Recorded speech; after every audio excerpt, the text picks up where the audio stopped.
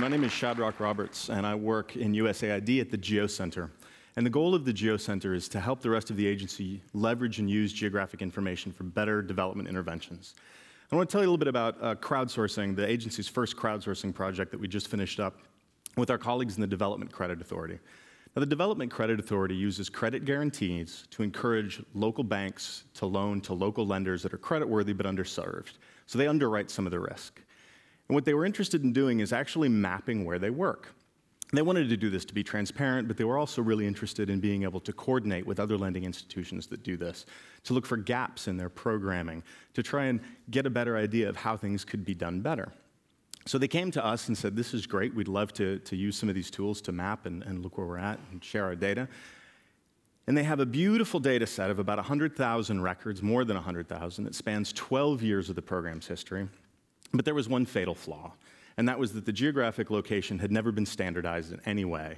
And in each of these 100,000 records, you have a free string of text that could be anything from an exact address to an administrative unit to some local description and a qualitative, uh, qualitative description in a local language.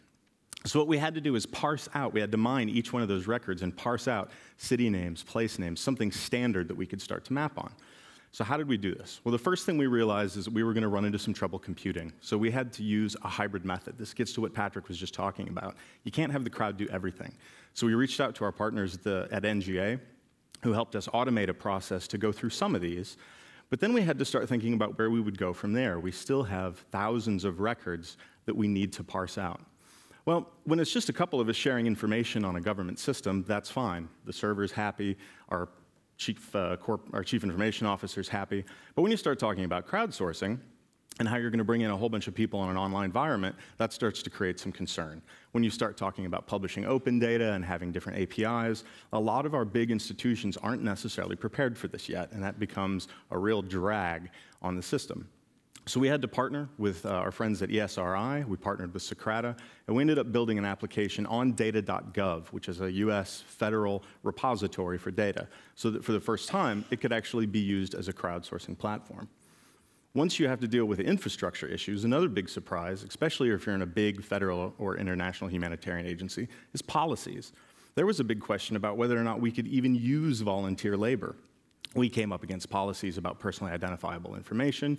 We came up with policies that governed how much information we can share. So if you work at a big agency, you really need to cozy up to your lawyers and your general counsel to find out if you can do this at all. So after we dealt with infrastructure, after we dealt with policy, the third really big thing that you, big agencies need to think about when they're engaging with crowdsourcing is the relationship. We had fantastic support from the Standby Task Force and from GIS Corps. Many of the pivotal people that made that happen are in the audience today. I encourage you to talk to them. But we really needed to have a discussion with them, and we needed to clearly articulate exactly what we needed volunteers to do. And they wanted to clearly articulate with us exactly what their capacity was. So there had to be a real discussion in a project sense around this. But the beautiful thing that happened is the more we started to talk about it and, and, and build interest in this, is there became more of a discussion about development in general. And the volunteers that we were working with got more invested in USAID's data and what USAID was doing. So we're moving beyond just open data and open transparency that you can go click on a map and find something. We're moving to an actual engaged conversation with the constituency, and that's really important. So how did we do at the end? I think we did very well for our first round. We had 300 volunteers sign up. Uh, we were able to process 10,000 records that could only be done with a human, couldn't be automated. The accuracy assessment was about 85%. Um, we did it in 16 hours. We treated it like a very bounded project, which has some implications for disaster response. But the other thing, as I said, is there was much more interest in what Development Credit Authority was doing, and people started to monitor Development Credit Authority on Twitter and Facebook and really get more interested in this programming. So now, Development Credit Authority has a set of beautiful maps online and USAID missions and banks all over can take a look at where credit guarantees are available. They can share these maps with other donors to better coordinate. But we didn't just want to trap the data in a mapping application, as and the last speaker very rightfully pointed out. We wanted to make the data open. So all of the data that we have can be used by other groups like openspending.org to take a look at what the Development Credit Authority is doing in ways we might not have even anticipated. So all of these things, the maps, the scrupulously handcrafted metadata, the accuracy assessment in a very, uh, a very detailed methodological study is all available online. You can find it by searching USAID crowdsourcing transparency or tweet to USAID underscore credit. Because in reality, transparency about international aid isn't about just putting your dots on a map and showing where you work, it's about saying how you work and what you know. Thank you very much.